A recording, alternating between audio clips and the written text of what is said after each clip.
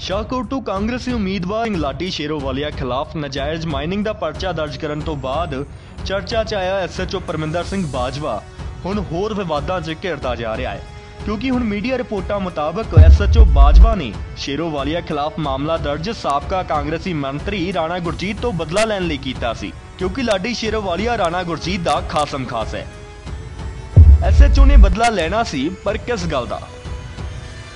ਅਸਲ 'ਚ ਕਾਂਗਰਸ ਸਰਕਾਰ ਆਉਣ ਤੋਂ ਬਾਅਦ ਇੰਸਪੈਕਟਰ ਬਾਜਵਾ ਦੀ ਬਦਲੀ, ਉਹਨਾਂ ਦੇ ਹੋਮਟਾਊਨ ਕਪੂਰਥਲਾ ਦੇ ਤਹਣਾ ਫੱਟੂ ਟਿੰਗਾ ਤੋਂ ਸ਼ਾਹਕੋਟ ਹੋ ਗਈ ਅਤੇ ਬਾਜਵਾ ਨੂੰ ਸ਼ੱਕ ਸੀ ਕਿ ਇਸ ਦੇ ਪਿੱਛੇ ਰਾਣਾ ਗੁਰਜੀਤ ਦਾ ਹੀ ਹੱਥ ਹੈ ਤੇ ਇੱਥੋਂ ਹੀ ਸ਼ੁਰੂ ਹੋਈ ਸ਼ੇਰੋਵਾਲੀਆ ਤੇ ਐਸਐਚਓ 'ਚ ਪਏ ਪੰਗੇ ਦੀ ਦਾਸਤਾਨ।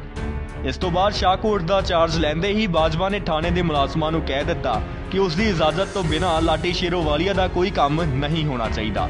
ਤੇ ਫਿਰ ਬਾਜਵਾ ਸਾਹਿਬ ਨੂੰ ਜਦੋਂ ਪਤਾ ਲੱਗਿਆ ਕਿ ਨਜਾਇਜ਼ ਮਾਈਨਿੰਗ ਦੇ ਮਾਮਲੇ 'ਚ ਸ਼ੇਰੋਵਾਲੀਆ ਦਾ ਨਾਂ ਉੱਠਿਆ ਹੈ ਤਾਂ ਉਹਨਾਂ ਨੇ ਇਸ ਤੇ ਐਫ ਆਈ ਆਰ ਦਰਜ ਕਰ ਦਿੱਤੀ।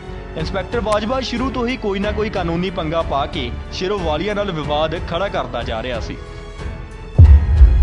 ਹੁਣ ਆਖਿਰ ਕੌਣ ਹੈ ਐਸਐਚਓ ਪਰਮਿੰਦਰ ਸਿੰਘ ਬਾਜਵਾ? ਬਾਜਵਾ ਦਾ ਪਿਛੋਕੜ ਆਖਰ ਕੀ ਹੈ? ਆਪਣੇ ਪਿਤਾ ਦੀ ਸ਼ਹਾਦਤ ਤੋਂ ਬਾਅਦ ਕੈਨੇਡਾ ਤੋਂ ਆ ਕੇ ਪਰਮਿੰਦਰ ਬਾਜਵਾ ਨੇ ਪੁਲਿਸ 'ਚ ਨੌਕਰੀ ਜੁਆਇਨ ਕੀਤੀ ਸੀ।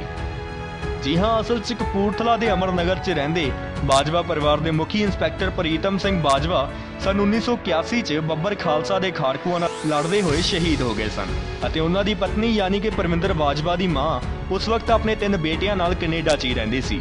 ਉਸ ਵਕਤ ਪਰਮਿੰਦਰ ਬਾਜਵਾ ਮਹਿਜ਼ 10 ਸਾਲ ਦਾ ਸੀ। ਇੰਸਪੈਕਟਰ ਪ੍ਰੀਤਮ ਸਿੰਘ ਬਾਜਵਾ ਦੀ ਮੌਤ ਤੋਂ ਬਾਅਦ ਇੱਕ ਬੇਟੇ ਨੂੰ ਉਹਨਾਂ ਦੀ ਨੌਕਰੀ ਮਿਲਣੀ ਸੀ, ਜਿਸ ਲਈ ਪਰਮਿੰਦਰ ਬਾਜਵਾ ਦੀ ਮਾਂ ਨੇ ਆਪਣੇ ਤਿੰਨੋਂ ਬੇਟਿਆਂ ਚ ਉਸ ਨੂੰ ਚੁਣਿਆ।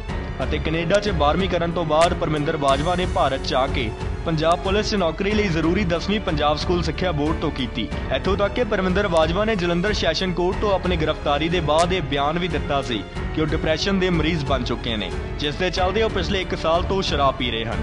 ਅਤੇ ਬਾਜਵਾ ਨੇ ਕਿਹਾ ਸੀ ਕਿ ਮੈਥੋਂ ਗਲਤੀ ਹੋਈ ਹੈ ਕਿ ਮੈਂ ਸੈਸ਼ਨ ਕੋਰਟ 'ਚ ਲੋਡਡ ਰਿਵਾਲਵਰ ਨਾਲ ਲੈ ਕੇ ਚਲਾ ਗਿਆ। ਹੁਣ ਫਿਲਹਾਲ ਬਾਜਵਾ 25 ਮਈ ਤੱਕ ਨਿਆਇਕ ਹਿਰਾਸਤ 'ਚ ਨੇ। ਅਤੇ 28 ਮਈ ਨੂੰ ਨੇ ਸ਼ਾਹਕੋਟ ਜਿਮਨੀ ਚੋਣਾਂ। Bureau report Daily Post Punjabi.